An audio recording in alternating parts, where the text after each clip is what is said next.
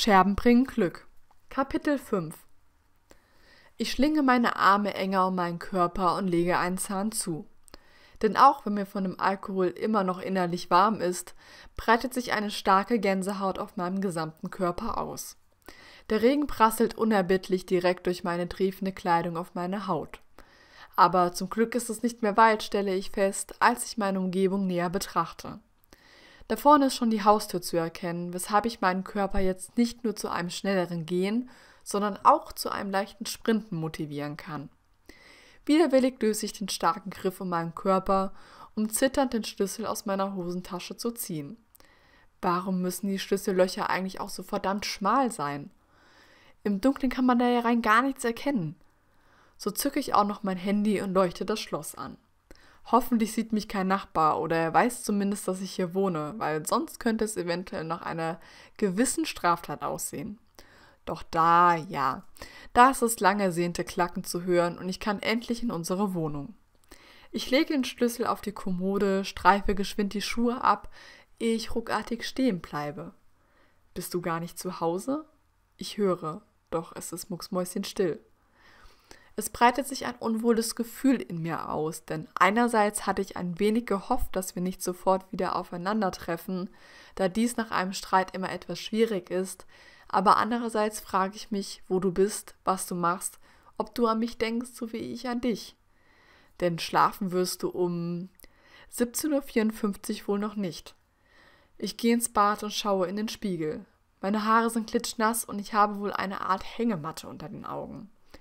Ich will mir das Wasser von den Haaren streichen, doch ehe ich meinen Kopf berühre, streife ich meinen Pulli sowie meine Hose ab.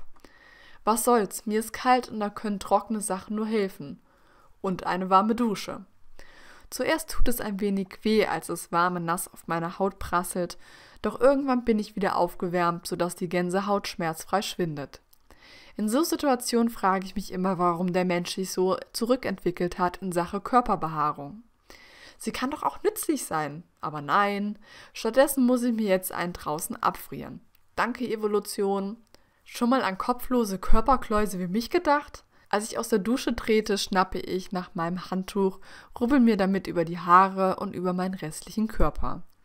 Ein Blick auf meine Umgebung zeigt mir, dass ich wohl ein bisschen zu heiß geduscht habe, denn die Dampfschwarten ziehen und der Spiegel über dem Waschbecken ist von oben bis unten beschlagen. Aber hör mal, ich musste mich schließlich aufwärmen. Mit dem Handtuch um die Hüfte gebunden schreite ich zum Waschbecken, schnappe mir den Föhn, um erstmal mit mir eine freie Sicht auf mich zu beschaffen.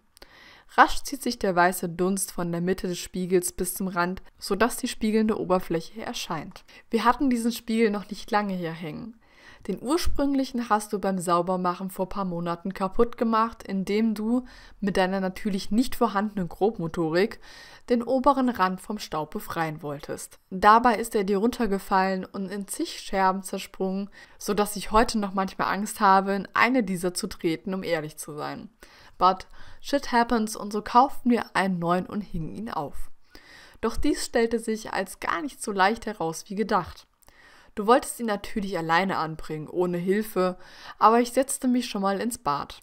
Um genauer zu sein, in die Dusche, damit ich ein wenig erhöht saß mit Rückenlehne und dir gut zugucken konnte.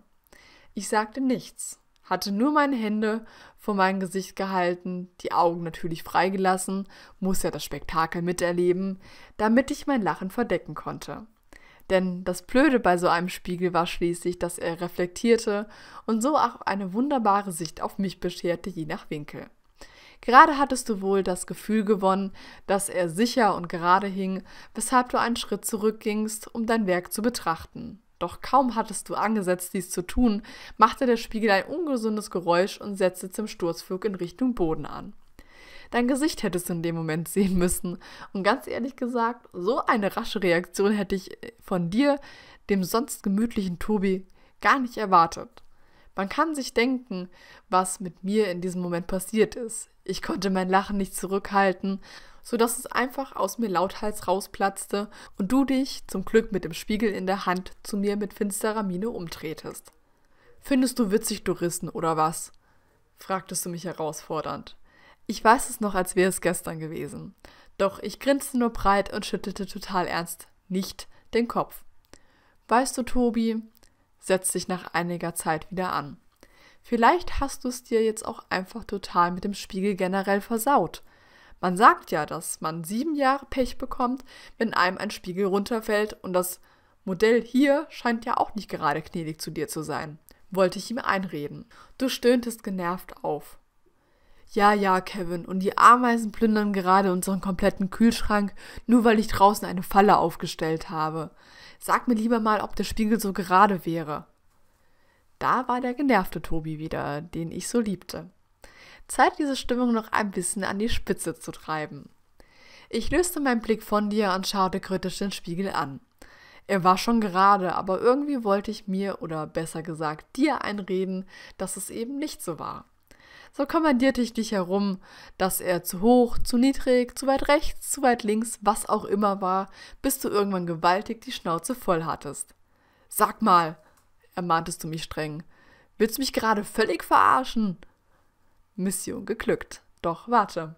Ich schmälerte die Lippen und schaute dich mit großen Augen an.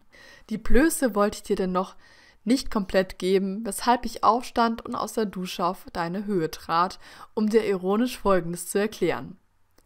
Hör mal, Tobi, ich finde es nicht nett, in welcher Tonlage du mit mir redest.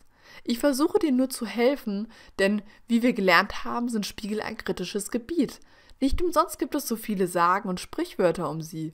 Ich halte dir bloß den Spiegel vor in Sache Spiegel aufhängen, damit du begreifst, wie leichtfertig du damit umgehst. Du schautest mich wie ein Auto an. Ich glaube, du wolltest mich in diesem Moment einfach nur schlagen, mir den Spiegel vielleicht sogar als Halskette um den Kopf ziehen, aber du konntest irgendwie nicht anders, als mich anzulächeln und leicht zu kichern.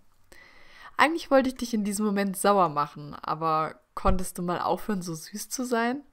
Ja, deine Verzweiflung, die in diesem schüchternen Kichern mündete, brach mich einfach um den Verstand und ich hätte dich am liebsten von oben bis unten abgeknutscht. So Zucker warst du. Stattdessen hast du einfach auf die Wasserwaage in deinem Werkzeugkasten gedeutet, die ich dir daraufhin, ohne mir etwas anmerken zu lassen, anhielt. Das war wieder so etwas, wie so vieles bei uns abläuft. Wir reizen jeweils anderen, ja, du kannst mich auch bis zur Weißglut bringen, wie du weißt, und können nicht sauer auf den anderen sein.